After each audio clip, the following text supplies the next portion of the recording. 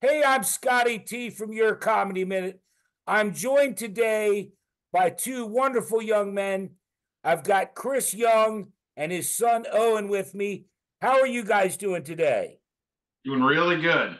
Well, your dad's favorite team, Dallas Cowboys, and do you know who they play tomorrow night? Eagles, And do you know who my favorite team is? Philly. Yeah, the Eagles, right. So now, before your dad even says anything, I'm going to predict, I'm going to say out front, or Kris, we'll do it at the same time. We'll do one, two, three, and I'm almost sure I know what you're going to say on what's going to happen. Okay? Yep. One, two, three. Eagles win by two touchdowns.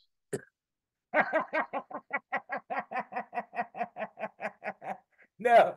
Well, you're you always say Dak is will blow it. Dak Oh, will blow Yeah, it. Dak will blow it. That that will be Yeah, the reason. right. That's why the Eagles That's- will win by two touchdowns. That's what I was going for because because you always say that. Dak will blow it. because Dak's gonna give him one on a pick six, and then he's gonna get and then, the and defense, and then the defense will give up another score, and Dallas will lose by two or by I two like scores. balloons. Do that. I don't know where they came from. Do it again.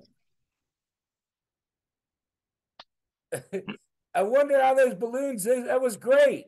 Yeah, special effects. Right. But before we go, let's get a prediction for the game and we'll check back. You say the Cowboys are going to lose by 14, Kris? 21-35. Okay. And Owen? Uh 24-10, Eagles win. Wow. I think it's going to be a blowout because I can't root against my Eagles. I'm going to go with your dad, but I think it's going to be bigger. I think it's going to be like 42 21 or something like that. 42 21 Eagles. Eagles going to score a batch of points. There might be a few field goals in there, but I think Dal- they're gonna. yeah, Dallas Goedert's back for the Eagles, which I think is going to be a big thing. So, but anyway, let me stop this recording. Thank you, Kris and Owen. Hang out for a second. I'm just going to stop the recording, okay?